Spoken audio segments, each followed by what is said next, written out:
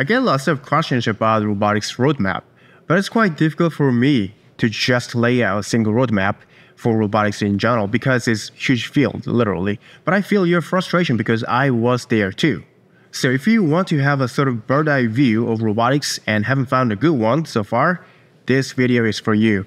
I have drawn a high level map of robotics engineering instead of just single roadmap so you can have a grasp of where you are and how to achieve your dream project. At the end, this map may result in an overwhelming feeling as it covers broad topics. However, you don't have to master every single topics or textbooks or double major in a college. Watch till the end, and I'll also share how I studied this field as well when I was in college.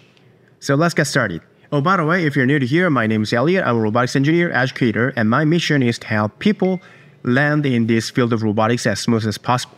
Here's the map of robotics. The field is made up of four key topics at a very high level control, software, math and physics, and data science, especially deep learning. And if I start from the software, most of you may feel familiar but may ignore the most important topics in robotics, which is control. So let me start from control which I believe is the most important but widely ignored topic by so called robotics software engineers. To start with, we can imagine a robot navigating from point A to point B, and that's called path planning. And obviously, if you're working with humanoids, motion planning can be a similar topic as well. Yet, all these topics are based on the actuators, the moving components like motors, and these motors are controlled by specific input data or signals. How well you want to control, say, a motor RPM is about the control in control engineering. Traditionally, there are classic control and modern control. Lots of control theories are developed using classic control like Fourier transform, Bode plot, Nyquist plot. And the perspective of classic control is focused on frequency analysis. On the other hand, modern control comes with matrix form and it seems less complex to begin with at least. But lots of its theories are backed up by classic control theories as well. Another very important topic in control engineering is state estimation. The state estimation is a fancy word for mixing the information from a bunch of sensors in the robot, such as LiDAR, proximity sensors, inertial sensors, GPS, camera, pressure sensors, and you name it. It's called robot state estimation instead of state calculation. And that's because you will never know the true values of the robot's position, velocity, angular position, and so on. Sounds odd. Well, then try to measure a length of your pen with a ruler. How exactly can you know? Can you count the carbon atoms at the tip of the pencil? And is the tip of the pencil a perfect geometric triangle? So is it very sharp? Maybe not. So we humans can only approximate the real values. So it's called state estimation. Like I said, the state estimation involves lots of sensors. Then it leads to a topic called sensor fusion. Literally, you want to fuse multiple sensors, and simply the algorithms to fuse the sensors are often called filters, Although it's quite different from the filters like coffee filter in the kitchen, like I said, modern control theories are backed up by classic control, whose perspective is about the frequency. So just like filtering the noise, we want to filter out the useless information from the sensors and only take into account the useful information from the sensors. So the names of algorithms come with the word filters. One very popular filter is the Kalman filter. It is so popular that you may even feel illegal to call yourself a robotics engineer if you don't know it. The Kalman filter is simply an algorithm for how to add two or multiple Gaussian distributed data. The Kalman filter's perspective of the word is that everything is normally distributed. By the way, you may hear lots of Gaussian distribution in engineering courses while mathematicians call the exact same thing normal distribution. Just for your information. Next, the particle filter is based on probability as well. Literally, it sees a robot as a rigid body. Then it samples lots of, say, position data with distribution and estimates the position of the vehicle literally like the dispersion of the particles. Finally, system identification is another very important field. If you need to develop a new type of vehicle, you want to know how it behaves.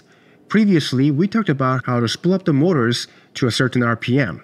But if you don't know the behavior of the motor, the control may not be optimal. So, the system identification engineer's job is about finding out the physical parameters of your robot. And to figure out these data, you need a fitting model which is about the vehicle specific dynamics, which leads us to math and physics section of robotics. It's never too much to say the backbone of robotics. Actually, any field of engineering is math and physics.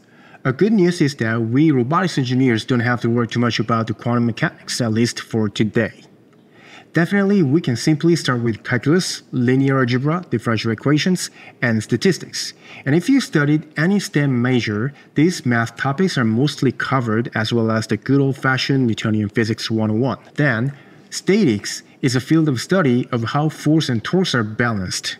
Whenever your robot needs to balance, you need to think about balancing the force and torques. Then, we need to consider dynamics, which talks about how machines are moving. The robot arm needs to consider the angular velocity and positions of each arm. Autonomous aerial vehicles come with their flight dynamics. The same goes for the ground vehicle dynamics. If you remember from the control engineering section, this is the dynamics you need to consider. Now, how do we actually implement the control algorithms based on the dynamics? We need to move on to the software part. And before we move on to the software part, let me introduce today's sponsor of the video, which is me. I have this Robotics 101 course to give you a taste of control, state estimation, and dynamics in Python. I understand it's very overwhelming to study all these areas of robotics on your own, and you don't have to master each topic to build a robot. So to help you get started as quickly as possible, I made Robotics 101. If you are curious, click the link here or down in the comment section. Now, to begin with the software, one can always start with Python, C, and C++.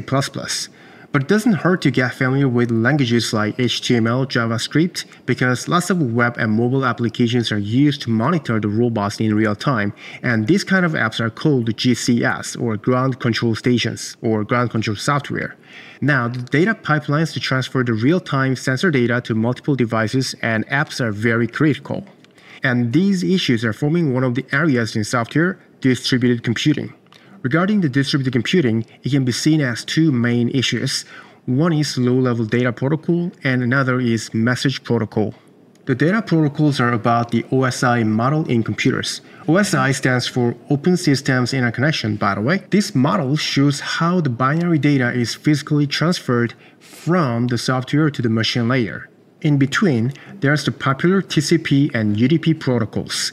Based on the TCP layer, the modern day HTTP and HTTPS protocols are built.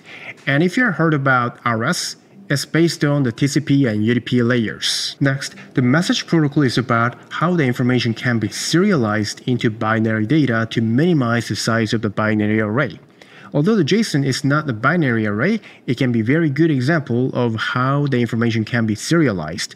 Then there are lots of message protocols you can use. Flat buffers, protobuf, Mavlink, and OpenCyphal for UAV autopilots.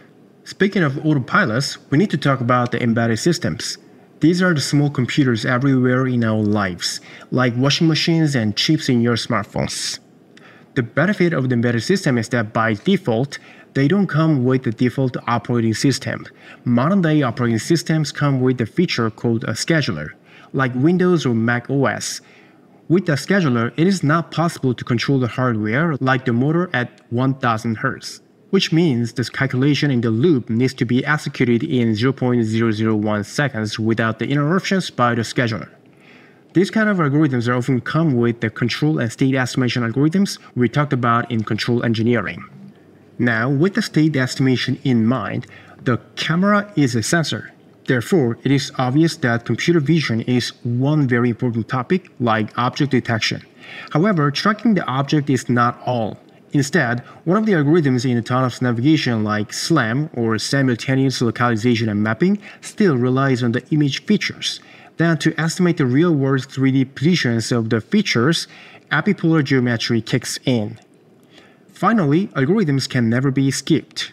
The SLAM algorithm is also about searching the stored features to detect and close the loop, so that the robots can search and determine whether a certain location has been visited or not. Yet, with the advance of AI, many of these topics in robotics come together. So, deep learning is one of the most important pieces of the puzzle in the field of robotics. Although deep learning itself is a part of data science and machine learning, we can start from multi-layer perceptron, which is the neural network. Then, convolutional neural networks are necessary for image processing. The recurrent neural network is useful primarily for the time series data. Then, as we all know, the transformer architecture came out and is dominating the field today. And on the other side, reinforcement learning kicks in to augment the control algorithms for multiple robots or swarm operations of the robots together. Finally, let's look at the application domain. Obviously, the application is a combination of all these other topics on the map. First, autonomous navigation is to let autonomous vehicles or robots be able to navigate from point A to point B while solving problems like object avoidance while following the planned path, also while drawing the maps. Human robot interaction is a huge topic as well, so the robots can interact with humans without causing any injuries to humans as a human level colleague. Bio inspired robot application is another emerging application in the field. The benefits of the bio-inspired robots are that detailed control and dynamics can be learned from the animals using the domain knowledge of deep learning, control, state estimation, and dynamics. Then the last piece is finally you. And that's the map of robotics. So what's your dream project? Please comment down below. I'd love to hear your ideas. And if you're ready to start your journey, don't forget to check out my Robotics 101 course link in the description section and then uh, comment section as well. And it's a perfect way to get hands-on experience with the control state estimation and dynamics using Python. And this is exactly how I studied through my career, especially when I was in school. Instead of focusing individual topics, I set up the project like sensor fusion like uh, with Kalman filter and then I researched the related topics like mathematical theories, like statistics, like Gaussian distribution, and then vehicle dynamics to implement the Kalman filter specific to this project. So if you're curious about it, also check out my other video about how I study again. So uh, that's it so far. My name is Elliot. I'll see you around.